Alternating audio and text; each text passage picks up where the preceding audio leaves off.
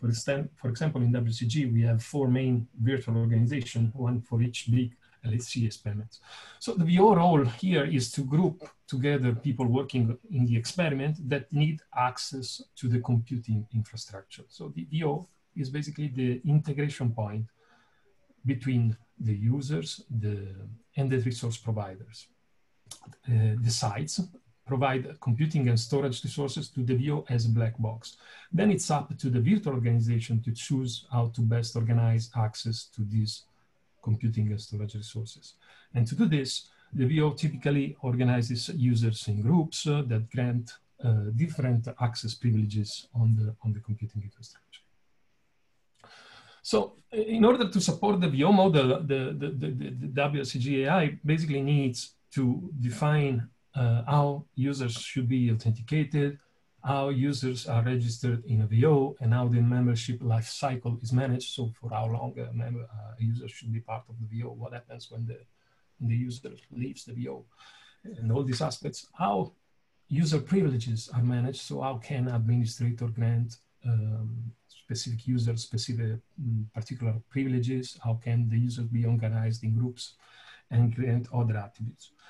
And, and especially how authentication and information and authorization information is exposed to services uh, so that uh, authentication authorization can, can be implemented correctly. Then we have the, the infrastructure perspective. So the point of view of the sites who provide the resources and the services, their computing and storage services, not to a single VO, but to many VOs. So for the infrastructure point of view, it's very important to know the identity behind any computational activity running on their sites. So basically they need to know um, the identity, the authentication attributes, the authorization attributes for each job running on their site in order to implement authorization so that uh, proper access control is enforced to implement accounting and also logging and OTT that are important for traceability. Also sites typically needs flexible tools to contain security incidents and to block misbehaving computing activities. Like for example, when a single misbehaving job from a, from a user is consuming all the VO resources at the site. The sites ideally would want uh, a tool that would allow to block that single user and not the whole VO activity at that site. And finally, we have the user's perspective. Uh, users typically are not very worried about the AI. Actually, what they would want is not to be bothered at all with AI scientists want to do their science. But if we look at from a very high level point of view at what the users want is basically a simple way to log in into the, the system and access multiple services in a, in a computing session without having to type passwords uh, 10 times or, uh, or, uh, or other complex procedures. So basically they want a single sign-on solution. They want to, the ability to delegate their rights to agents that act on their behalf while they are offline. This can happen because actually scientific computation can take a uh, very long time to complete. And they want also the ability to choose from a very high level under which role they want to act in a computing session. So whether they are hacking as a, an unprivileged user or as an administrator.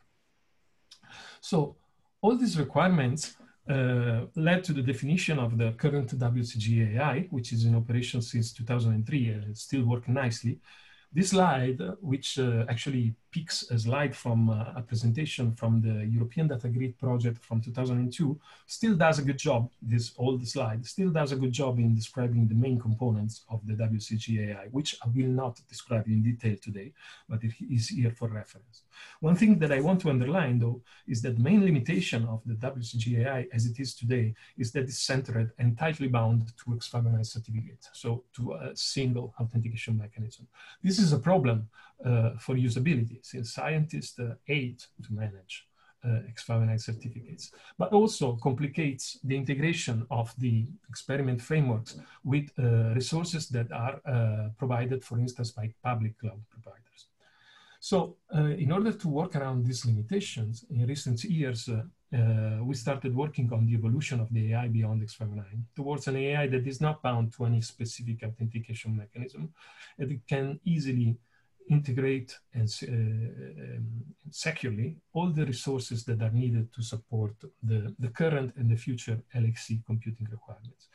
In these slides, I, I, include some pointers to a detailed description of these activities. I, I will not go into any detail here. This is just a, a, very brief introduction. The point that I want to underline, however, is that this novel WLCG AI, which is centered on the Indigo IAM technology, is basically building upon uh, technology that is provided by the EOSC-hub.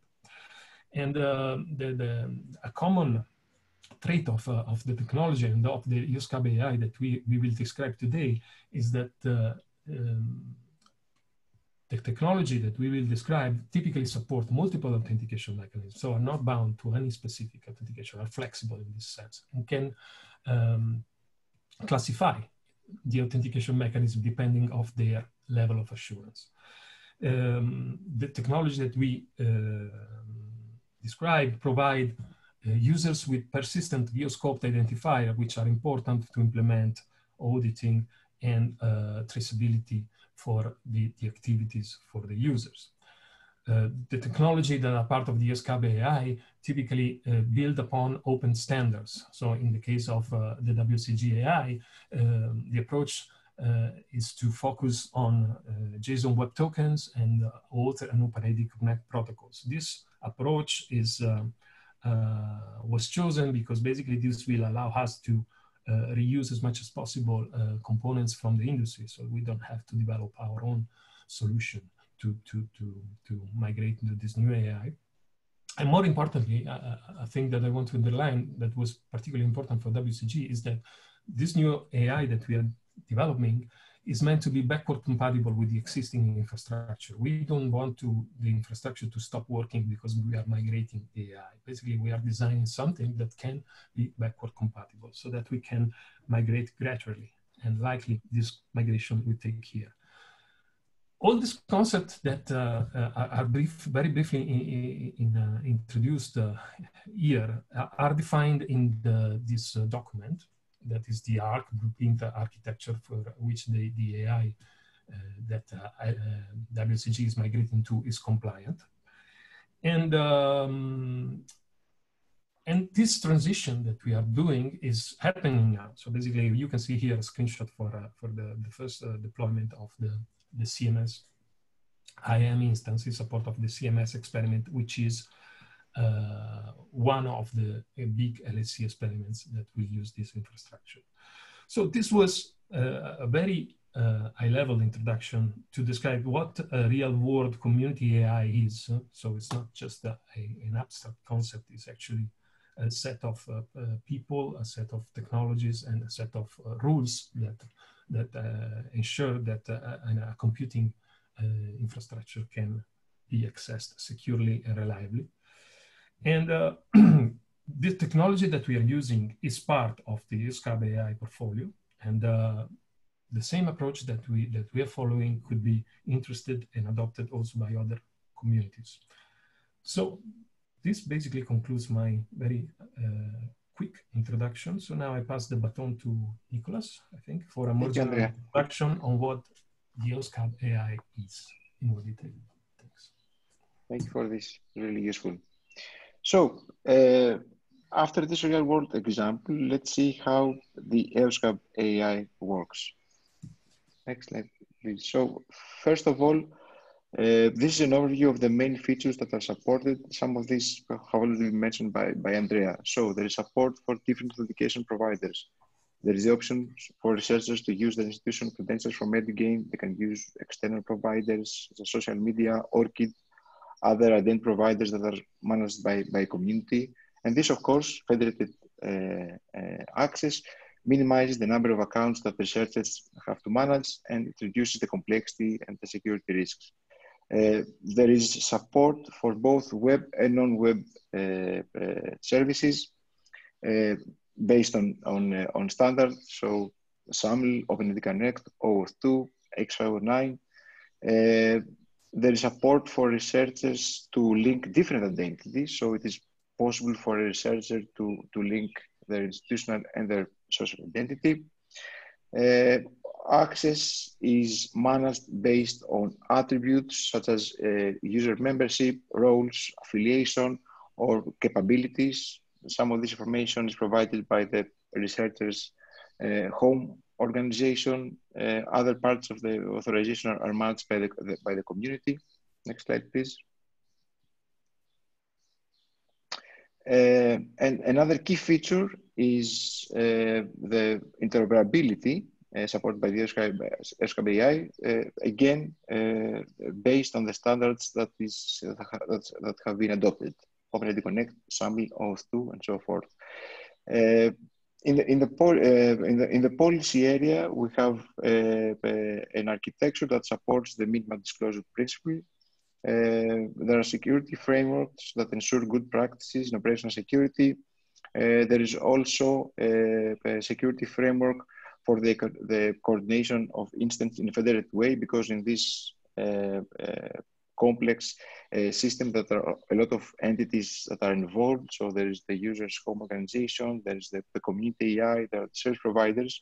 So a, a, a federated instant response uh, framework is of uh, key importance to support this scenario. And lastly, uh, there is there, there are standards for expressing the assurance. Effectively, this translates to how much a relying party can trust uh, the attributes of the user. Next slide, please.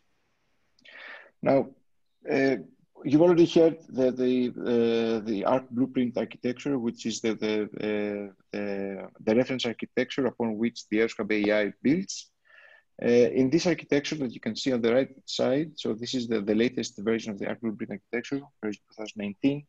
Uh, there is at the top the user identity layer that brings together the different authentication providers that we discussed before.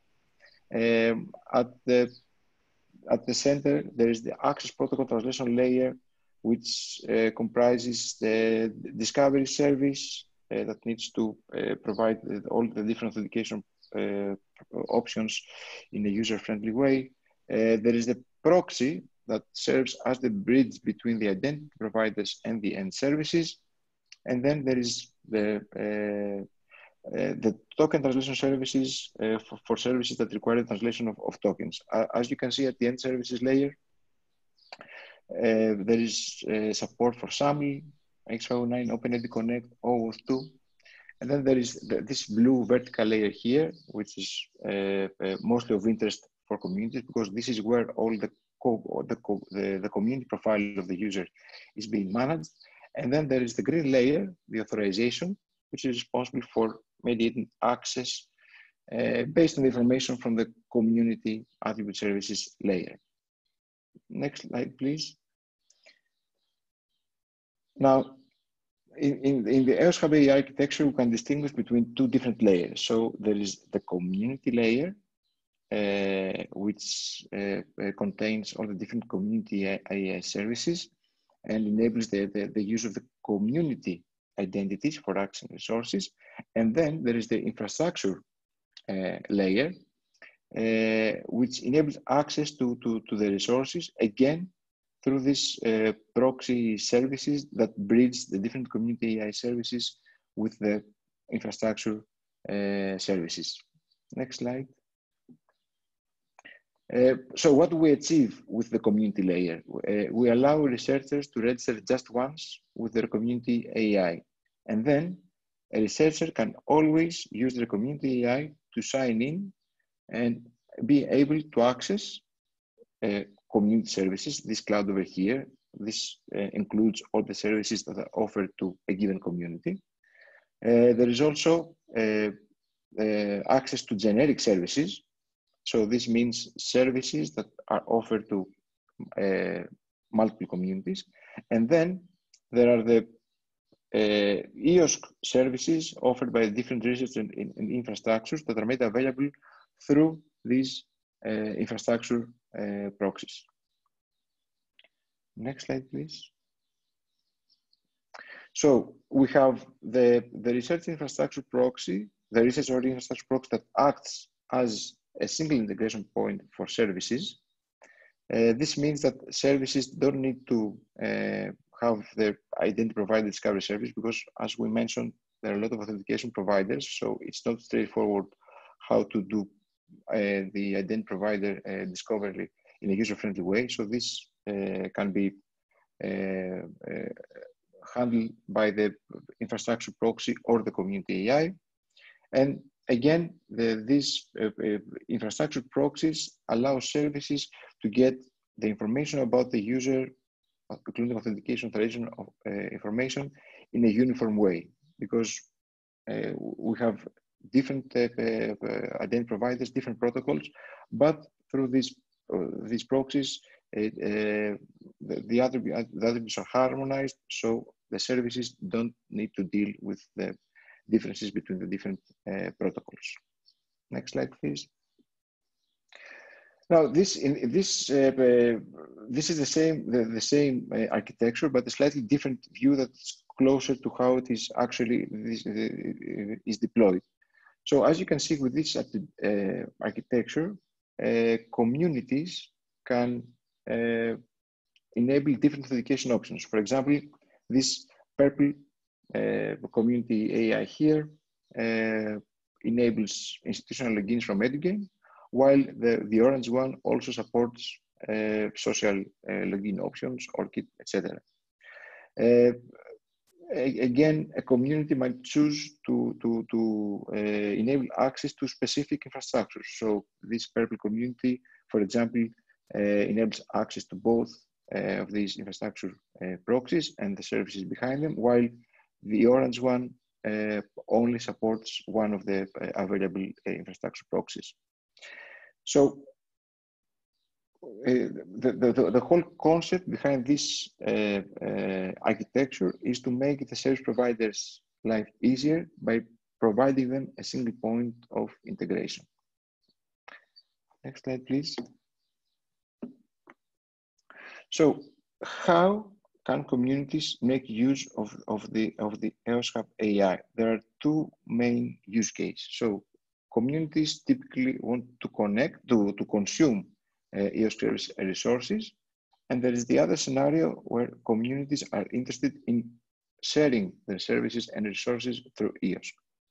If you go to the next slide, please. So for the first use case, where a community needs to consume EOS services and resources, if if the community already has uh, already manages a, a, an RBPA compliant community AI, then uh, what is needed is for that community to connect uh, its community, its existing community AI uh, service to the infrastructures where they need to, to, uh, to consume services from. Now, uh, in, in the next slide, if what, what happens if the community doesn't have its own community AI? Then there is the option uh, to use one of the different uh, multi-tenant AI service offerings that are already available through EOSC-hub. If you go to the next slide, you can see that uh, there are different community, multi-tenant community AI services that can serve different uh, communities and VOs. So there is B2Access, uh, there is Check-in, uh, there is eduTEAMS, there is IAM. Next slide.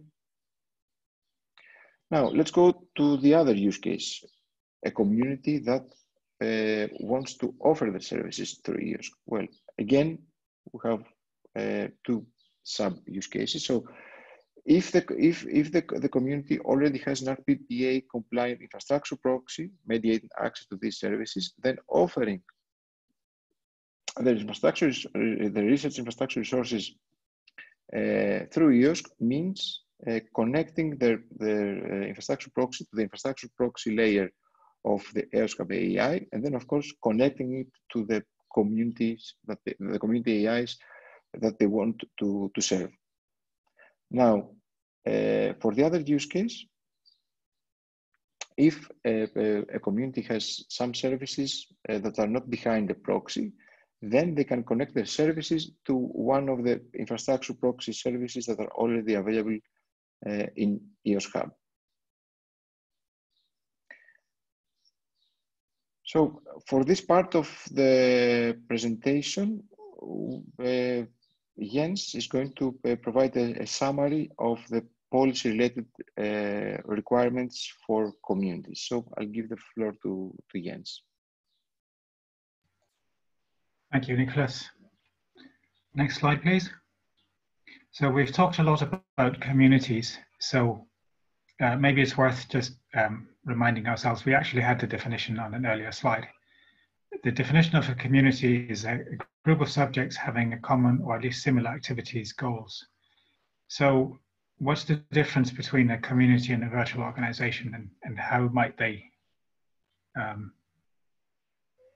how might they be related to each other? So a community will typically organize itself around the activities and forming a virtual organization is, is one of the things that it might do in order to make use of an infrastructure.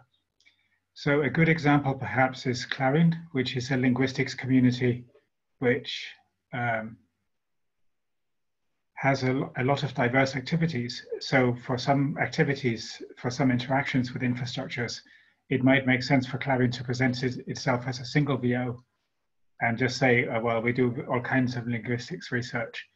And for some of the specialized topics that are the specialized activities that are happening within Clarin, it may make sense to set up smaller VOs that are more specialized.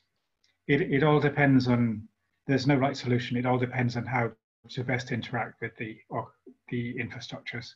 However, of course, if the infrastructures are interoperating, then it makes sense to have just a single VO that, that faces the infrastructures.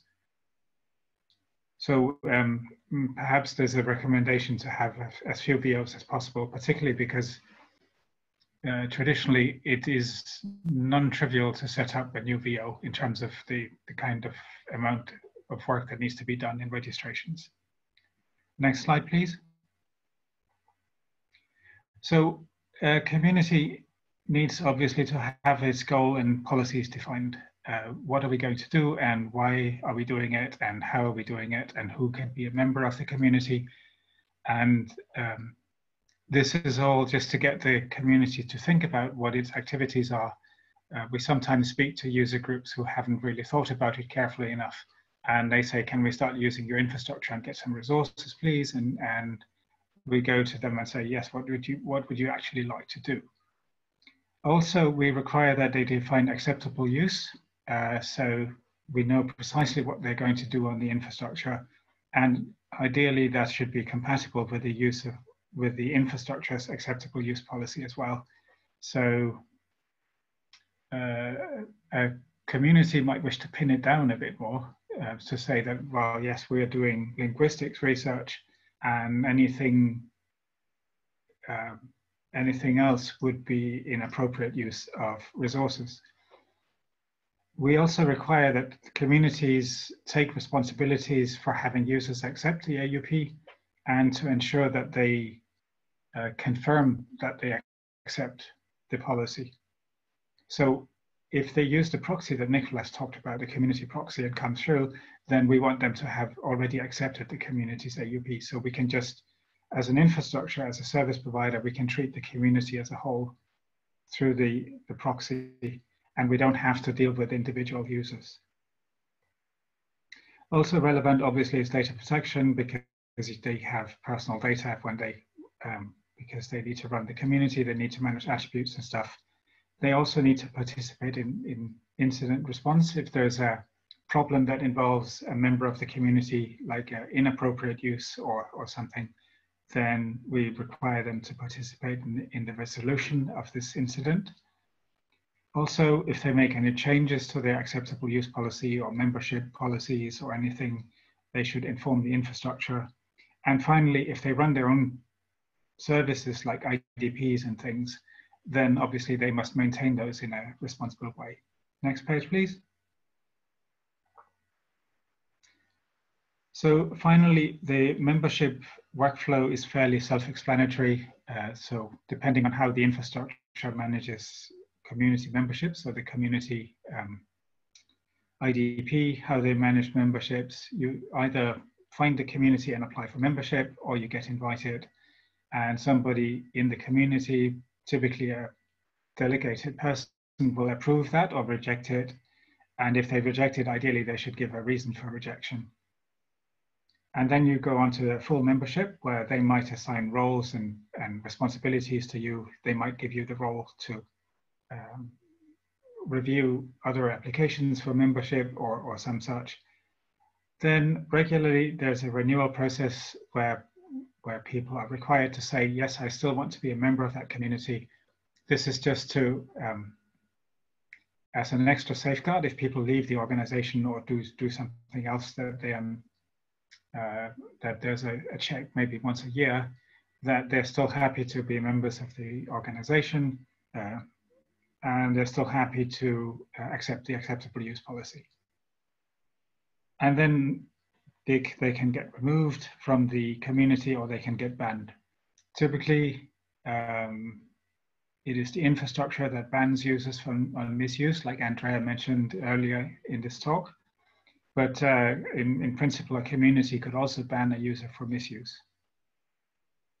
Next slide, please. And with this, I hand over to Nicolas and or Christos for the next part. Thank you. Thank you, Jens. So uh, in this part of the presentation, we're going to discuss how communities can manage access to, to the resources. So I would like to give the floor to, to, to Christos now. Hello. Uh, so we shared a lot of, of, of uh, background information about how you can manage a VO, what should we do, flows, potential flows to, um, to ban users, to uh, include users in the next couple of slides, we try to put some very high level um, uh, visualization of how we see things working in the context of, of EOSC. Of course, many details are, are, are not there, but we would like to take one step back at this point and give you the high level view of how we see people interacting with EOSC. Basically, it should all start with um, a community that wants to actually use uh, uh, resources from uh, the European Open Science Cloud. So the uh, a representative of the community, probably a, a man, the manager of this community will go to a community service and uh, the user will register on, on that um, community service and request the creation of, of a virtual organization for, for, for his or her community. Uh, next slide, please. So when the this organization is created, uh, the VO manager now will be able to invite members and uh, there will be probably sent email invitations. There are multiple ways of, of, of someone that can invite members, depending also on the tools that um, will be used. And then they will be able to actually manage the organization, create groups, assign roles to these, to these users. So suddenly there is a structure on this VO that possibly represents how, how the collaboration actually works. Uh, next slide, please. So now we have uh, a team of people. It could be 10 people, it could be thousands of people grouped within, within a research organization. The, the next step, and of course this doesn't have to be sequential, but in, in this uh, slide I could take it uh, as a sequential order, you need to add services. I mean, there's no point to have this organization without actually having services. Whole purpose that we create all these AI structures that so that users, communities, collaborations could be able to share access to services and share resources and in, in a secure manner. So um, the typical thing is, is to start adding their own community-based services uh, go through the steps in a more or less automated manner, add metadata for SAML services, connect OpenID Connect services, enable the services. Next slide, please.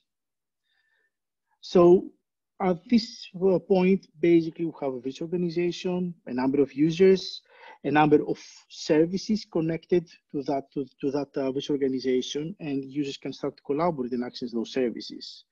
But as we have been discussing, um, there is uh, the case that many communities would like to use also resources offered by other resource providers, not resource providers that are strictly within their community. So next slide, please. So the way that we see things is that basically, again, a community representative should be able to go to the EOS marketplace, find services that would be of interest to the community, request access for these services, and enable the services for their community. So uh, next slide, please. When this is when is done, effectively the VO has expanded its uh, access to services, and now you have your own uh, community services connected to VO, but also services provided by, by other resource providers, and those services might be the case that they're sitting behind other infrastructure proxies. Now, this is where basically what we want to see happening is that this whole linking of services should be more or less automatic. The moment basically a community is authorized to use a service from a resource provider, the whole technical integration should be outside of the site of, of the community itself. It should happen more or less in automatic manner. In the same way, like what Jens was describing, was that uh, the user, the users, when they become members of the community, they have to accept some policies, terms of use. All this information has to flow transparently from the community service to the end services, regardless if they are directly connected to the community or connected via infrastructures with proxies. The complexity of the underlying infrastructure is not something that should be exposed to, um, to, to the users and the community itself. And apart from policies, the same goes for attributes, access rights, and all these things. So the moment basically a group of people has been granted access to a resource, they should be able to access it without taking care of how things could be mapped across resource providers, etc. So uh, this is the high level view uh, of how we see things happening. We are not there yet. So right now there are many steps that uh, are still manual in this process, especially when we integrate resources from um, uh, uh, external resource providers. But we're working towards this direction to make this integration seamless. And back to you now, Nicolas. Thank you, Christo. There's also a question in the chat from Raymond about the, the how to, to, to manage the, uh, the access rights in a, in a VO. Uh, Raymond, there is a slide describing the, so the next slides are about authorization. So uh, after we finish with those slides and you still uh, have a question, uh, we can discuss it, if that's okay with you. Super. So uh, authorization. Basically, we can distinguish two uh, main types of, of authorization information. The first one is the user attributes, meaning group and role information, assurance, uh, affiliation of the researcher within their home organization or, or uh, the community. And then there are capabilities, which define uh, the, the resources that a, a, user is allowed to, to access. And this also means defining specific actions that the user is allowed to perform on, on a resource. And capabilities uh, essentially allow to uh, expose authorization information in a compact way. Go to the next slide, please. Now, uh, having said this, so we have this distinction, but this doesn't mean that both capability-based and user attribute-based authorization cannot coexist. So let's take a commercial service application as an example. So you are all familiar working with, with Google Docs. So when you share uh, a, a, document and allow anyone with a link to access, this is essentially you're giving this a, capability. While where you're sharing, uh, but you can still share the, the document with specific uh, people based on their uh, email address. So this is uh, an example of, of user attribute-based authorization. So having these diff two different models doesn't mean that they cannot be uh, combined. Next slide, please. Now let's see some uh, examples of what we mean with each type of uh, attribute. So group and role information. Uh, the user is a member of, of group X, or uh, we, we could, there's also the, uh, to, to, express that the user is a member of a given group with a, with a specific role, for example, manager. Uh, assurance information. Uh, this includes information, for example, that the, the user's identifier is never reassigned, uh, globally unique and persistent. Or uh, we know the, the name of the user after uh, following a face-to-face -face ID vetting process. Or that the affiliation information that we get from the user's home organization can be uh, uh, is, is updated at most uh, in a day or a month, depending on the home organization's practices. And then for the affiliation, for example, uh, someone is a member of the faculty at uh, uh, University X, or that the, the user is a member of, of a community.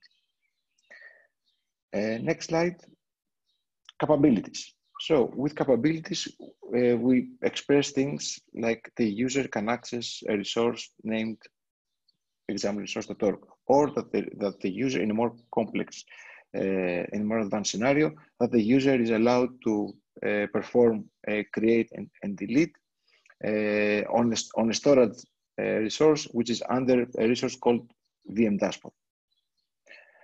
Next slide, please.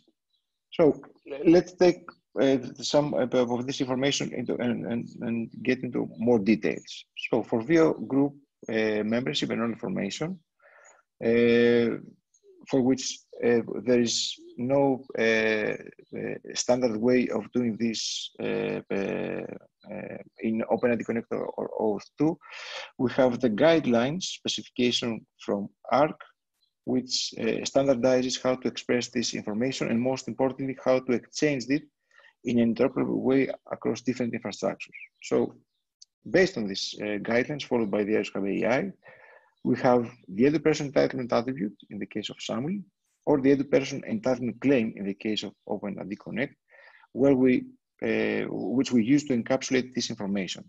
And this group membership uh, follows this role syntax that you, that you see here. So essentially, we encode the name of the group, or there could also be a hierarchy of groups. Optionally, if uh, the, the access model requires users to, to, to, to have uh, specific roles and uh, giving them different access rights.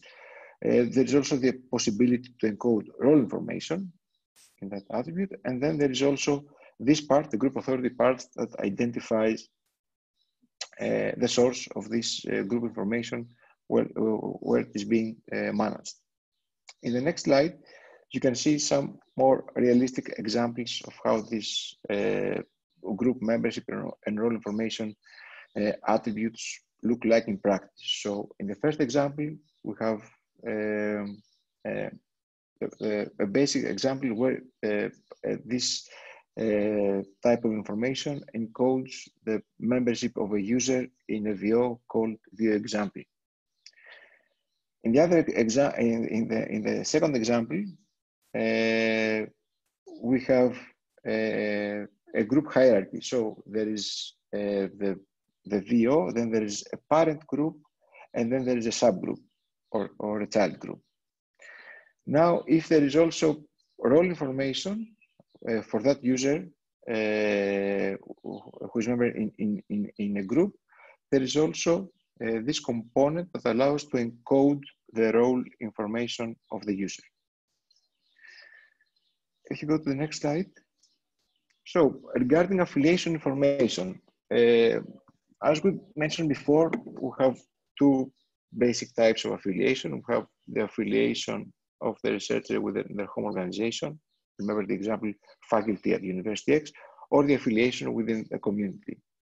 So again, uh, we have uh, a guideline specification document uh, from AARC that standardizes how to express these two different types of affiliation uh, particularly in cross-infrastructure scenarios. So in, in summary, there is the VO person external affiliation attribute, which is intended to convey the affiliation within the user's home organization.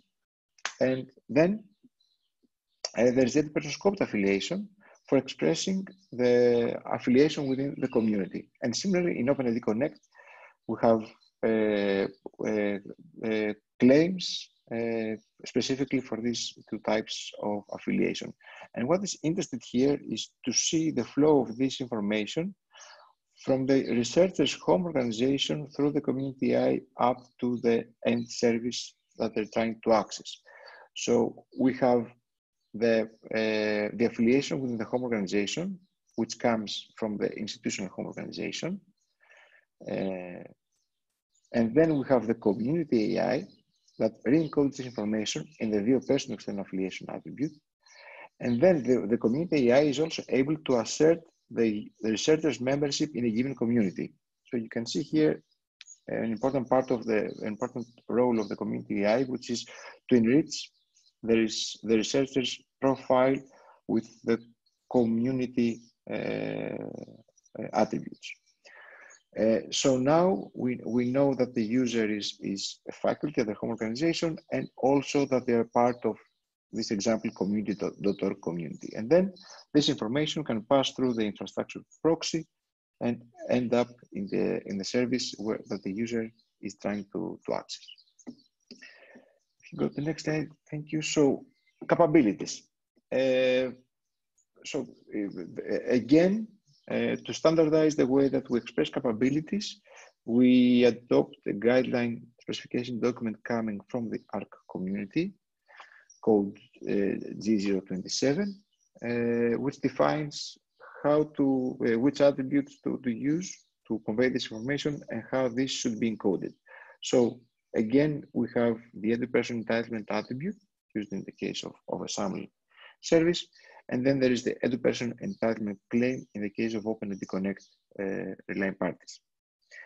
Again, uh, we have a URN-based syntax. Uh, now, instead of the reserved uh, word group, there is the, this uh, uh, uh, literal, which denotes an entitlement conveying capability information. Then there is, of course, uh, uh, this part which identifies a given resource. And then in, in, in, uh, in scenarios where there are hierarchies of resources, there is also the ability to specify one or more child resources. And then if more fine-grained control is needed, there's also the possibility to encode specific uh, actions. And as with the group specification, there's also uh, the, this component that identifies the source of the information. And in this example, you can see how the capability is encoded uh, in a more realistic scenario. Uh, there is the, the, the, parent resource identified here. This is the, a sub resource, a child resource. And then in this example, we also include specific uh, actions that the, the, the, the, user is, is able to perform on the identified uh, uh, resources. Next slide, please. Now, how this information can be, can be used to actually uh, manage access. There are three, let's, uh, three main models. So there is the, the, the first one is the centralized policy information point. The second one is centralized policy management and decision making. And the third one also adds enforcement. Let's go uh, to uh, uh, and see one by one how each of these authorization models work. So if you go to the, to the next slide, this is the, this, the, uh, the simplest authorization uh, model. In this scenario, we have a user that accesses a service and the, the, the user is redirected to, to, to the proxy, to the IDP, they authenticate. So the, uh, the, the information from the home organization reaches the proxy, the yellow box here. Then, as we mentioned before, the, this uh, identity is enriched with the community managed attributes. So the proxy uh, in this centralized policy information point model is responsible for uh, aggregating all the relevant authorization information for the user. For example, the, the groups, the roles, uh, the affiliation with the community. And then all this information is being sent to the, uh, being released to the end service, which is responsible for processing this uh, uh, information and then making an authorization decision and enforcing it. So in this model, uh, uh, the, the, the community AAI acts as an aggregator of the, of the authorization information, and it is the end service that processes this information, takes the decision, and enforces it. Let's go to the next model, in the next slide, uh, where the, the, the, the, the community is also responsible for the decision-making process. Typically, this means that after the proxy aggregates all the, the authorization information, for example, the, the, the groups of the user and their roles, instead of giving this information to the end service and then expecting the end service to take a decision, it is the proxy uh, that processes this group information and in the end produces, generates capabilities that are sent to the end service. And of course, this model simplifies the, the end services life because then the, the, the service or, uh, is only responsible for enforcing the capabilities that are sent by the, by the community AAI. Of course, having said this, on the other hand, it means uh, less control for the end service. So depending on the end services requirements, they can go for either the, the first model, where the proxy is just an aggregator for the information, or if they want a simpler approach and, and they want to delegate the decision-making process to the community AAI, they can go for the capability-based approach. And now the third model, if you go to the next slide, uh, it's it's it's uh, in practice it's it's not a, a, a different uh, model. It's it's more of can be seen as an extension to the previous two models. So in, in this model, we have a proxy aggregating authorization information about the user. Um, we have um, uh, and, and, then based on this information or after uh, generate the capabilities, the proxy can also enforce a decision. So uh, it can completely block the access. And this is more relevant in a, in a scenario uh, where there's a, a, a, security incident. So uh, a, given user or a VO is, uh, needs to be blocked. So with this model, it allows the community AAI to centrally uh, suspend access uh, to, to, services for, for, for a given user. And again, this in, in, in this model, we uh, simplify the, the life of the end services because uh, the, the community AAI can in, enforce the, the access uh, decision. Next slide. So after having uh, gone through all the, uh, the, the, the, details for the authorization information, uh, Raymond, do you want to, to have we answered your question? Do you want to? Ah, perfect. Thank you. Uh, so in, in this uh, uh, next slides, we have some examples of how this uh, works in practice. So uh, uh, we've chosen examples where users access infrastructure services through their community AAI. And this, in this first example, you can see how a user, Andrea, you can already start the, the, the video. So you can see a user accessing EGI notebooks, the EGI notebooks service. Uh, after the, the user selects to, to sign in, uh, they're being redirected to their infrastructure proxy, in this case, EGI check-in. Then they select their community AAI, in this case, it's eduTEAMS. The user identifies their home organization, they provide their credentials, they log in, they redirect back to community AAI service, they, they see the information released by the community AAI service, then they, they are being back to the proxy, and last and lastly, they are able to access uh, the service with the community information, uh, uh, with their community managed authorization attributes. Uh, the next uh, uh, example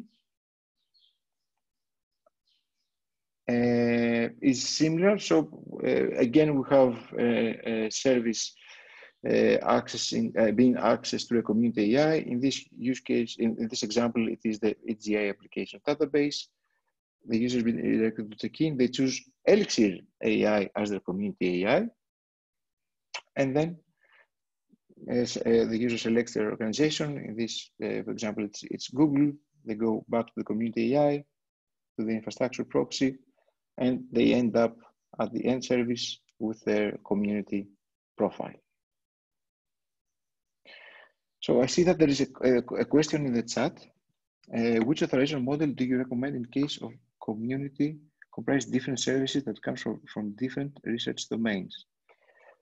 Um, I, I think um, in order to be, you know, the, the, the, this depends greatly on the on the types of of, of services. So, uh, ideally, uh, uh, a community AAI uh, should support all the three models.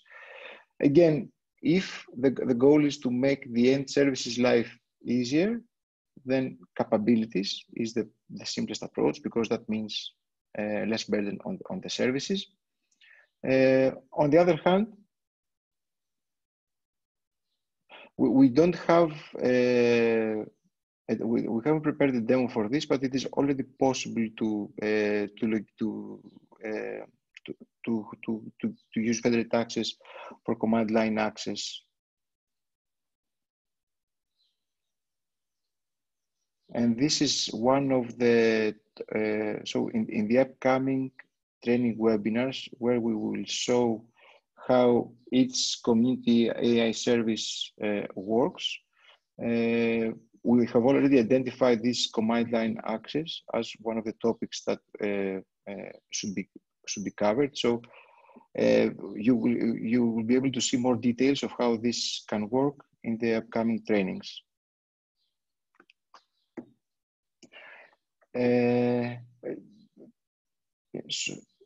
so, yes, uh, uh, there is a question about about an SDK. So for for for Check-in, there is no JavaScript SDK available now. Um, there is a yeah as as Raymond says in the chat uh, one, uh, one way to support this uh, SSH access is through uh, SSH keys that can be uh, exposed through LDAP. If you go to the next slide, Andrea. Yeah, so we're now at the, the, the questions and answers. So please uh, you either use the, the chat or Slido or raise your hand and we can. Nicolas, we have also question in uh, Slido. Slido. Can you perhaps, uh, Pavel, can you share your screen with uh, with Slido or can we try that? Oh, ah. I have. To... Ah, Andrea, there is also a link to, to Slido. If you go to the next slide, let's see if you can share this. So this is, yeah.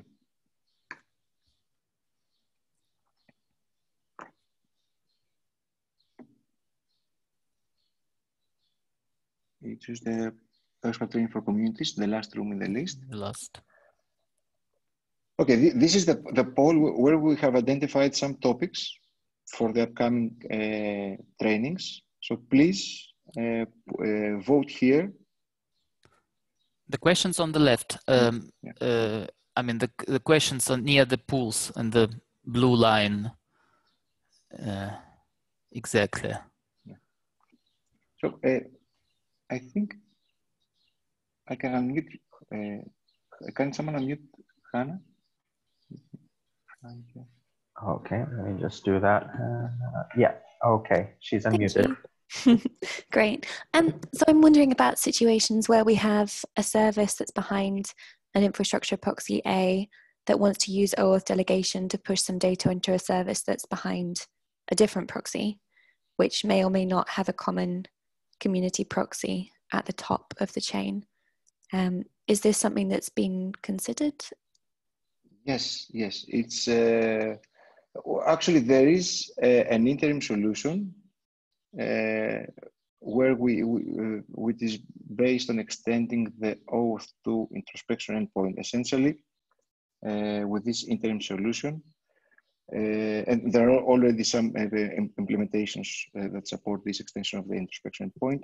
Essentially, you have the introspection endpoint being able to, um, to, to forward the introspection request to the other infrastructure proxy so that the end service doesn't need to connect to multiple proxies. So the, the, the one way to deal with this situation is to uh, uh, is for the service to connect to all the proxies which of course it's not the, the ideal solution, but the service can only do that. So in this interim solution, the service can use the introspection, uh, which will then uh, uh, forward the request to the other infrastructure and then uh, return the uh, the, val the validity status of the token to, to, to the service.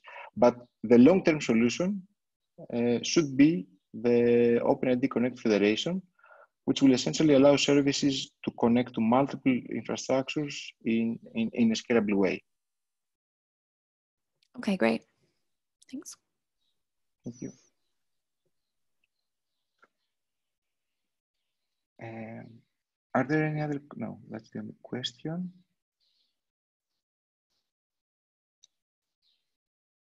Uh, ah, there's this comment from Raymond.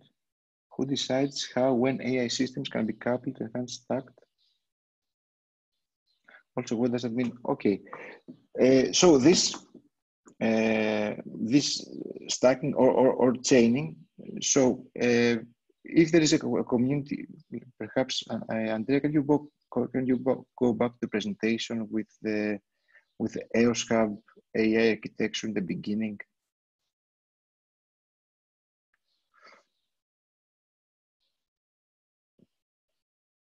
Okay, so let so uh, let's take the, the second example where we had Elixir uh, members of the Elixir community accessing EGI services.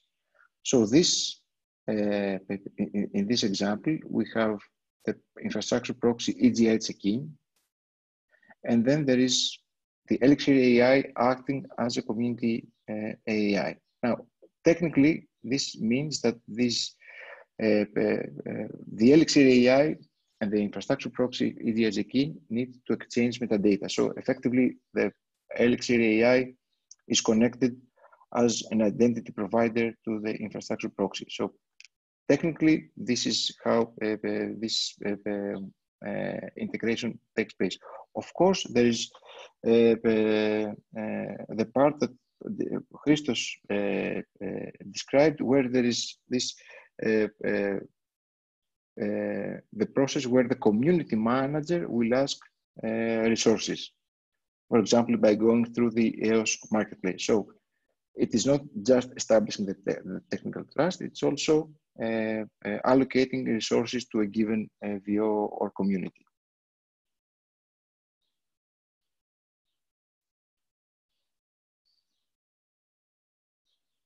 Yeah, if I can add something, it's, it's probably the point is that uh, typically communities choose their um, solution to manage uh, the solution that best fits the, their requirements to manage their own community. But here is provided a, an interoperability framework to put things together so that uh, uh it's possible to, to define trust relationship between uh, communities and infrastructures, and there are the technical means to achieve uh, interoperability uh, at the attribute level so that the information, authentication and authorization information can be exchanged across the various levels and understood by services without requiring changes to the code of the services.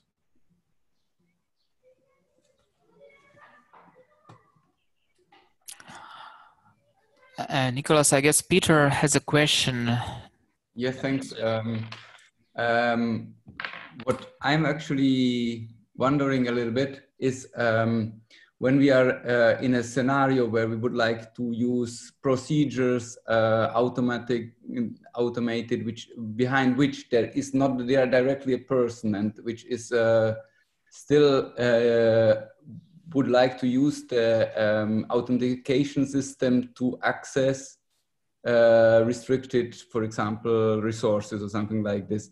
How would this work? I mean, this would, uh, I'm, I think this is what in the old style uh, X509 uh, was, was were the robot certificates and mm -hmm. how this is translated into the new token uh, architecture. I guess I could imagine something like a scenario that some uh, persons have the role or the capability to sign this robot uh, sort of uh, tokens, but where they would create it and how they would be removed, uh, renewed, and things like this. Because usually you want to have long-term persistence of this because you don't want to upload a token every day or something like this. So I can answer. Okay, sure, sure, go ahead.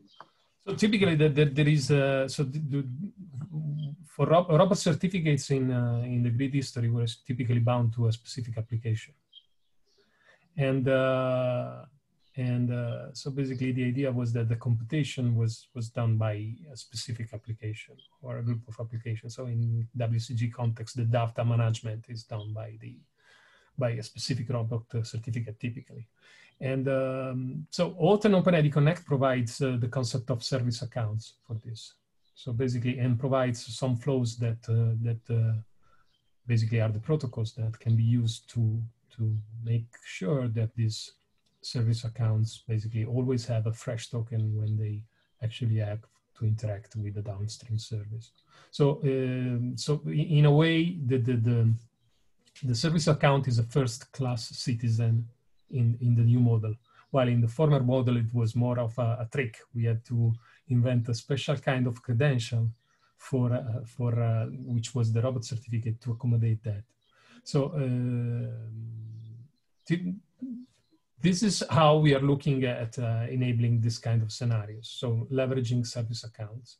And then, of course, you can uh, you can in uh, this depends actually on the on the proxy implementation. You can link attributes also to service accounts, like um, like attributes that could convey particular privileges or, or something like this. Okay. Where this regarding the, the long running computation and the ability of uh, getting fresh tokens, typically um, there are also ways here to to to to make sure that uh, there are flows in place that allow uh, a, a, system to have the ability to request a fresh token whenever they need to interact with the downstream service without requiring any intervention from an operator or authentication, explicit uh, authentication for an operator. Okay, this this service uh, accounts live in the or either in the community AAI or in the on the multi multi tenant AAI without having a link to eduGAIN and so on. Yeah, I would say that the service I don't well I would say that mm, the service account is community specific, so I would say yeah. it lives in the community okay. AI, and whether it is a, a, a dedicated proxy instance or the community is served by a multi-tenant uh, instance doesn't really make a difference, I would say. Okay. Because even in a multi-tenant uh, uh, community AI, again, you know, there are, there boundaries. So uh, the, the, the, the, service account will be bound to a given uh, VO served by, served by that multi-tenant uh, service. It will not be shared across all the VOs. Okay. Uh, is this correct? This is the next question from, from Hannah about the, the user experience. So this is, uh, we, we have a lot of feedback uh, around this uh, double discovery. So what we are currently working on is the, the, IDP hinting specification, which will allow uh, uh, services to provide hints about the identity provider that should be used. And effectively, this will, will allow uh, the end services to signal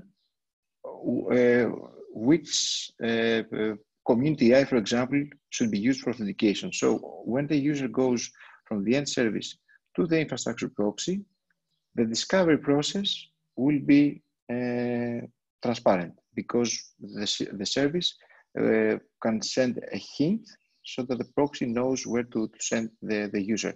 And uh, apart from this uh, uh, hinting signaling support, uh, we are also looking into more advanced scenarios where it would be possible to send hints, for example, to, to uh, narrow down the list of identity providers. You might have a use case where it makes sense for a service to be accessed, for example, by only R&S and certified IDPs. So with this uh, hinting specification, uh, um, there is support for signaling only so R&S discovery or blacklist uh, a given entity uh, attribute cat, uh, entity category or show only this subset of IDP entity IDs. So uh, we are we know that user experience, the multi-discovery is uh, is an issue, and with this IDP hinting specification, uh, hopefully we will make the the login flow uh, more straightforward for, for end users. Okay, thanks. And then the next question. No, I think we already covered the non-interactive, non-personal access, yes. How do you see the relation of communities and generic services as Zenodo? And mute also uh, Jose, or uh, just to to pronounce the question. Or not. Yeah, I, I was trying to unmute as well. Um, yeah, I mean, just based in this in this uh, diagram you have in there. So I, am thinking of Zenodo. We would integrate with EOSC AAI, and um, and I was listening to the whole presentation about communities. Uh, so I was not very sure how this fits into into a service like Zenodo, which is generic and is not targeting a specific community. So uh, uh, um, yeah, I don't, I, I don't know. It was a, a, generic question, right? Because in another slide, and maybe it's the next one, you have an arrow that goes directly to the generic service. I don't remember which uh, which number. So, yeah. perhaps Nicolas, I can take this. Um, uh, this goes back to what I was presenting as where we want to go towards. Um, right now, it is true that um, if a service wants to connect one of the community AIs, they have to do this, this direct connection to each community AI directly, which is uh, at best suboptimal. Uh, but this is where we are right now. What we're working to go towards is um, the notion where uh, services like Zenodo will be able to connect once the EOSC AI and, and be made available potentially to all community AIs that are part of EOSC. Okay. Um, and, and we're going towards this direction with uh, by embracing the concept of, of a federation, of a EOSC federation, where basically services will be able to join and then be made available to all the other participating uh, entities within, um, within EOSC.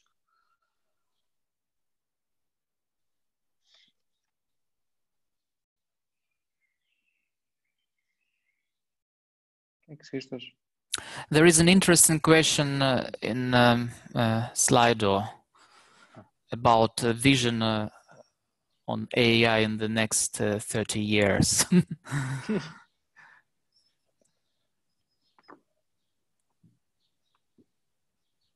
I think for the next 30 years, the answer is simple. We should not be talking about it. Yeah.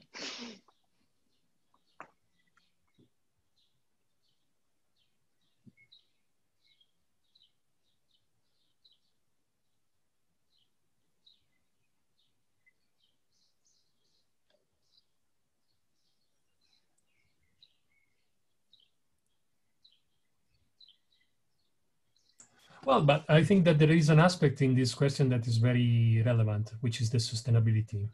And uh, one part of um, one interesting thing that can be said about sustainability is that by relying on um, on, uh, on standards and technologies that are uh, used also outside of our context, basically we are reducing the risk on our side, basically, because if we, uh, as as it was done in the past, if we develop our own specific, very specific and very tailored tools that basically work only in academia, then we are exposed to the, all the, the full cost of uh, maintaining these tools and uh, uh, ensuring that they are sustainable.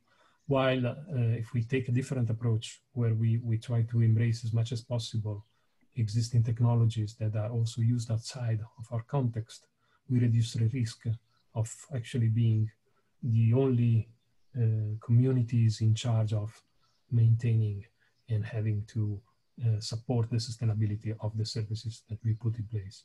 For sure, uh, I think that also EOSC is, uh, will be a sustainability channel for the central services, so that uh, uh, as soon as the various proxies will, will, will, will be a, a, key asset, a key component in the infrastructure, computing infrastructure for research communities, the EOSC should act as a, as a sustainability channels. So speaking, this actually a sustainability problem is uh, doesn't doesn't need 30 years to surface. I mean, you you, you could you typically see problems much earlier. I, we have seen such problems in WLCG even after uh, 10 years or 15 years of components that were uh, that were uh, discontinued and uh, and that forced us to start the migration to more standard technology in order to not have the full cost of the sustainability on our shoulders. Exactly, Andrea. And let me add also to this one aspect is actually uh, going towards uh, standards and market standards. Uh, I have to say here a parenthesis that I think the academic and research community has been a pioneer in this field. So when things started happening like 20 years ago, there was nothing like that in the commercial world. So uh, there were many things happening at the time that were really pioneering this whole area of trust and identity. Now we see that the whole ecosystem matures. We see standards coming up not only from the commercial world, from, but from combination of the commercial world and the research communities and with all this experience. And we see commercial offerings. They're not geared to support this kind of use cases, but I think in the years to come, we will be able, we will see things like that happening. But one of the, I think, very important uh, drifts that we have seen during the last decade is going away from the notion that I have to run my own service operated by myself at my basement and actually start relying on receiving components like this as a service, infrastructure as a service, AI as a service, and relying basically on the commoditization of, of these components. So I think this is where we're heading also with AI. It becomes more a commodity of a commodity day after day. Uh, we have already now service providers providing solutions. We'll have more of them in the future. Um, so I think we're towards the right direction. And there's kind of a related issue of if you have an infrastructure that is meant to last 30 years, how do you identify users over a lifespan of 30 years? And that's actually a very hard problem if you're archiving data now, for example, that users need to be able to access 30 years from now. There's not very much that survives 30 years except perhaps biometrics. So it's kind of a hard problem, but if the AI is sustainable, then at, least in theory, you can daisy chain identifiers for users throughout that time and ensure that they still have access to their stuff in 30 years from now.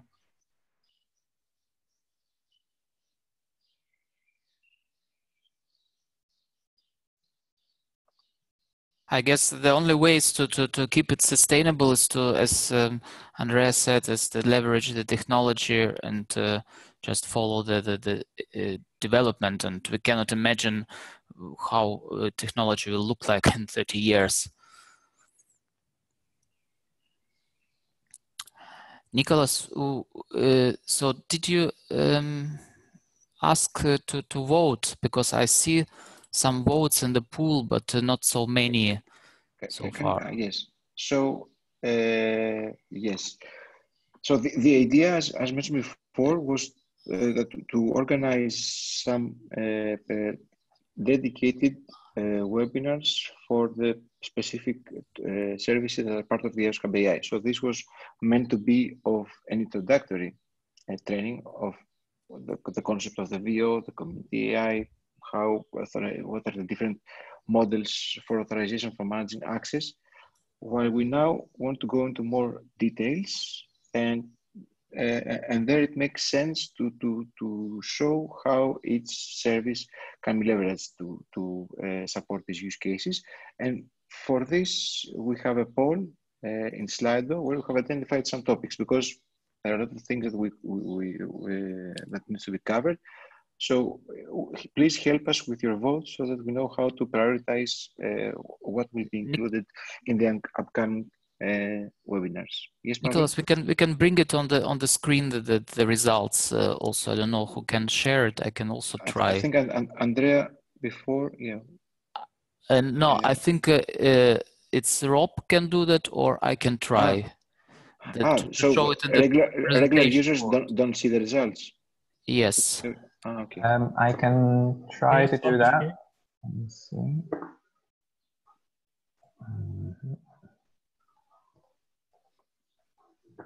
Okay. Uh, what did you want to show specifically? The, the, the results of the of the poll. Okay. I think I did it already. Ah, yeah. Do you see it? Yes. So this is the current results.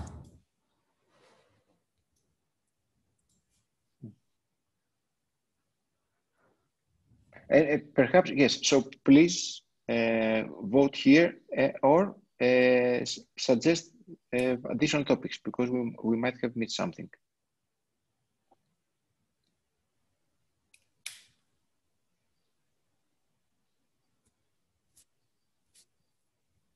So it, it seems that the, the, most popular topic is the integrating services in EOSC. But we can still do more than one, right? So we just know how to prioritize them. Mm -hmm. Yeah, yeah, yeah. So any other topics that someone would like to, to, to suggest, you can also raise your hand and, and discuss. I'll put it in the chart.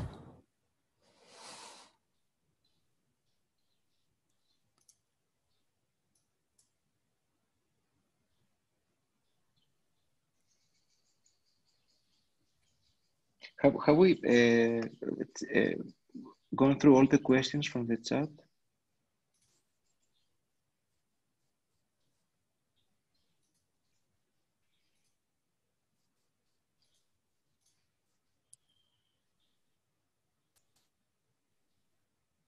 Yeah, We've covered all of the questions.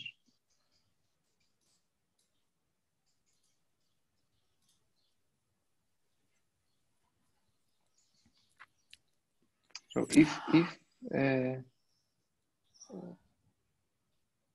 perhaps before we, we wrap up, again to, to mention that at the end of the of the slides that will be linked from the from the public agenda of the event, there uh, in addition, I think there are another 50 slides or so that go into more details into uh, the policy aspect because this is uh the, the, the, policy requirements is a key aspect when setting up a, a, a VO.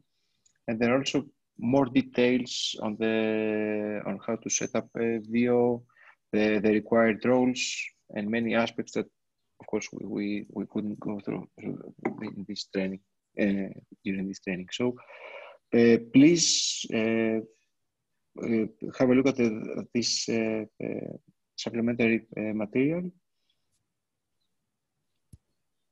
and give us your, your, your feedback.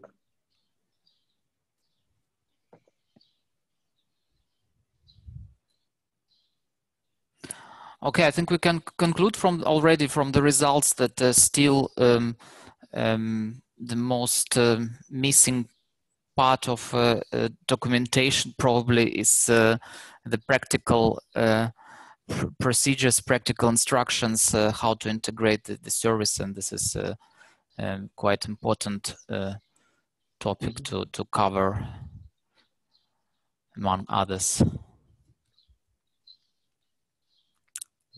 Also, in the presentation, you can also find links to the uh, documentation where there's uh, uh, we have documentation for how to integrate services with the different uh, AI services. Uh, there are also uh, links for documentation uh, for end users, for community managers. So please go to the wiki where you can find uh, deta detailed information for each tool. And there is also a link to the roadmap where it uh, identify, identifies uh, some of the current gaps. For example, the user experience with the multi-discovery that was mentioned by by HANA or the or the delegation uh, when you have services connected to different infrastructure proxies. So these gaps are uh, uh, described in our roadmap page, where there is also information of, on when we expect uh, to have uh, implementation of, uh, of, of, a solution for each of these gaps.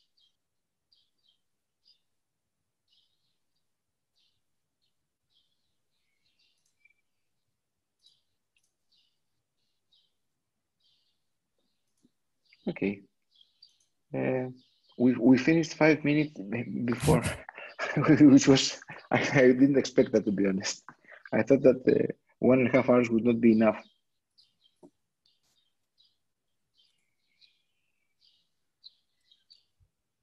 This never happened. The, Yeah, AI session. So this is unprecedented. This is a first, that's for sure.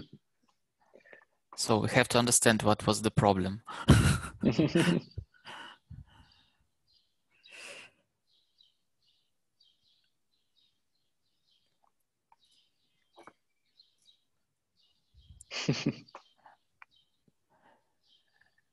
Uh, people not able to talk.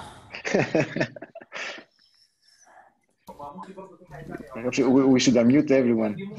That's what I did.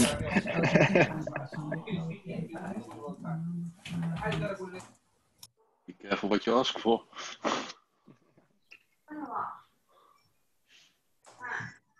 okay. Uh, I think we can wrap up.